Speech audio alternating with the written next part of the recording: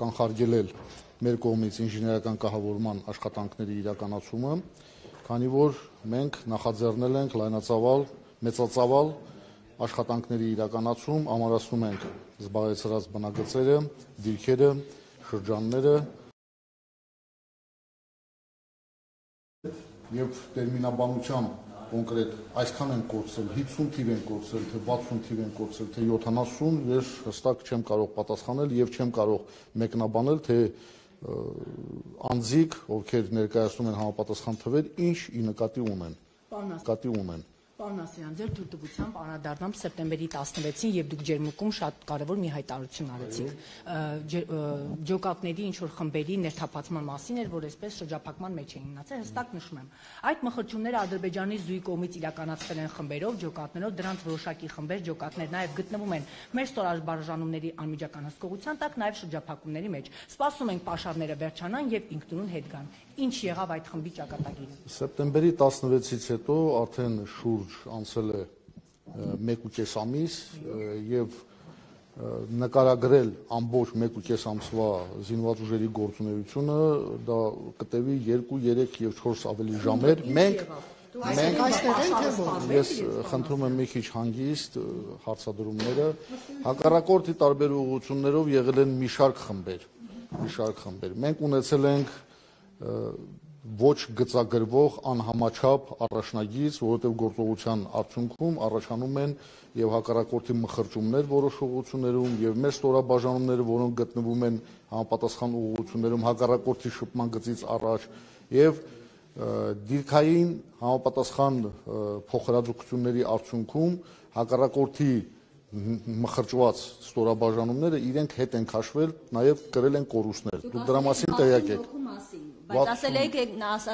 ասել եք նաև որ 12-ը մնացել են։ Ինչ եղավ այդ 12-ի հետ մենք որի բնամթերք է, այսպես ասենք, պիտի սպառվեր եւ իրենք կգնան։ Խոսքը ջերմուկի ստորաբաժանումները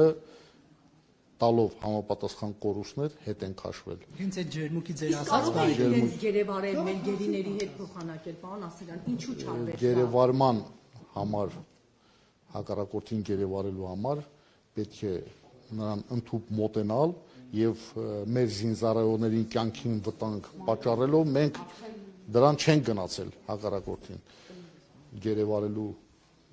համապատասխան դիրքային փոխհրաձգությունների արդյունքում հակառակորդը հետ է քաշվել եւ ներկա դրությամբ մենք ջերմուկի ուղղությամբ ունենք գծագրված առաջնագիծ,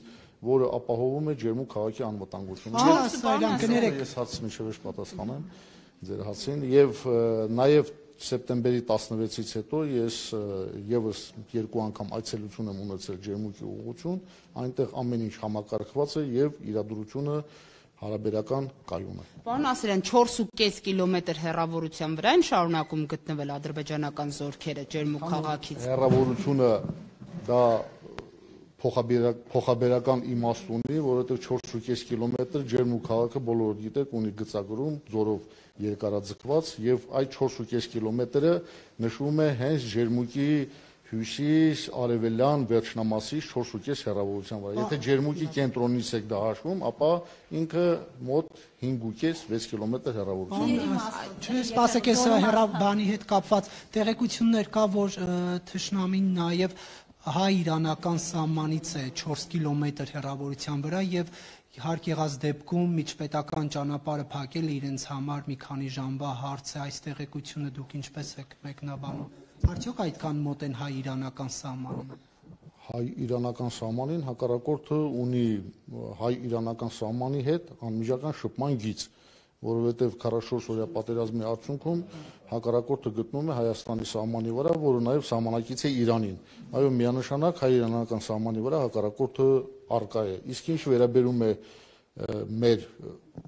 Մեղրի, Ջերմուկ, Կապան, ճանապարհին հակառակորդի տիրելու գործողություններին մենք պլանավորում ենք մեր պաշտպանությունը այնպես, որպեսզի այդ իրավիճակում չհայտնվի։ մեկ ամիս է անցել դերևս Գեղարքունիքում, նաև շատ